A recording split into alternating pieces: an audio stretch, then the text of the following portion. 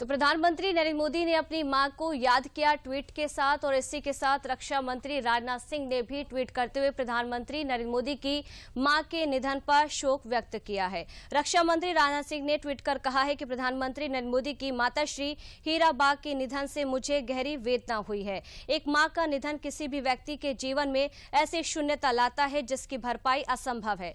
दुख की इस घड़ी में प्रधानमंत्री और उनके परिवार के प्रति मैं अपनी संवेदना व्यक्त करता हूँ। ओम शांति।